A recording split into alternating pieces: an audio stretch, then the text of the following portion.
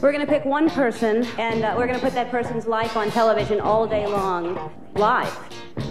This is the guy you want to go with. Yes. He's 31 years old. He's a video store clerk. What, what is he gonna spend the rest of his life rearranging Ernest movies? We're gonna go in three, two, and and. There he is. Morning. I'm mad. All right, here we go, Carlos. Just stay with them. What happens when you go to the bathroom? Do they go in with you? No, Al. Wow. What did I miss? He's uh, checking out his own butt. You gotta see this. Hey, I'm on television. Yeah. Your mother's in the bedroom. I'd yell for her, but I die. Hello, everybody. Welcome to my home. Mom, what are you doing? This is a new low point in American culture. You bring those cameras over to Big Brother, and I promise you, I will make something happen.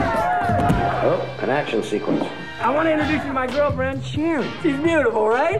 Mwah. What do you like about it? I don't know. It's it's just that it's, it's just let me watch. You are, though. What? Beautiful. Did you see the look? She likes the Ed guy better than she likes the brother. I am going out with Ray, and all I can think about is you. Uh-oh. Kiss him! Kiss him! Don't you kiss. Don't do it, Ed.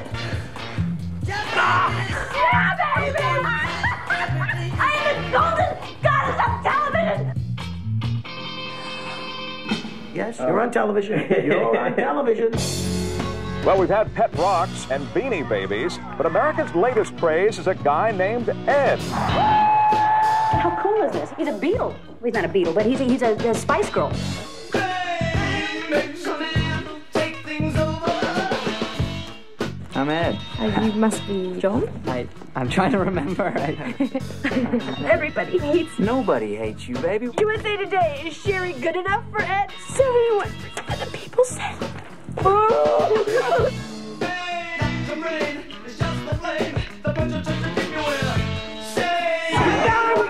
rolling. That's fun for the whole family.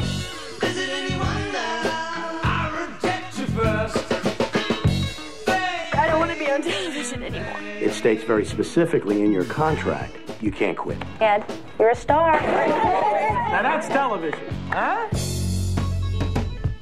What is it? It's my breast, Ed. It's on the internet. Oh, this just keeps getting better, doesn't it?